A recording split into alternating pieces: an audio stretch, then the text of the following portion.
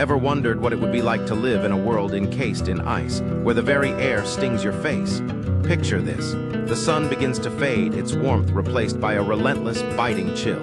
This isn't just a harsh winter. It's the beginning of an ice age. The transformation starts slowly with colder summers and longer winters.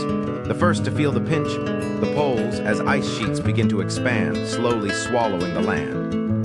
Water levels start dropping, revealing secrets hidden beneath the waves. Coastlines reshape, and what were once vibrant beaches become frozen wastelands. As the ice advances, humanity scrambles to adapt. Cities once bustling with life face an existential threat. Buildings become shelters, and resources become precious commodities.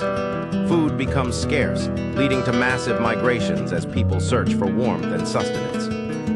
The very landscape changes dramatically.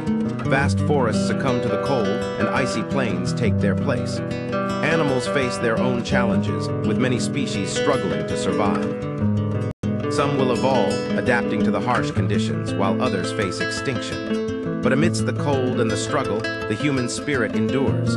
Ingenuity and cooperation become essential. New technologies emerge, designed to battle the cold. The world's population huddles together, finding ways to survive, creating communities and dreaming of the days when the sun reigned supreme.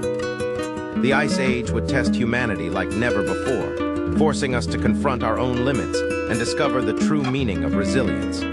What survival strategy do you think would be most crucial if the world plunged into an ice age? Share your thoughts in the comments, and don't forget to like and subscribe for more hypothetical adventures.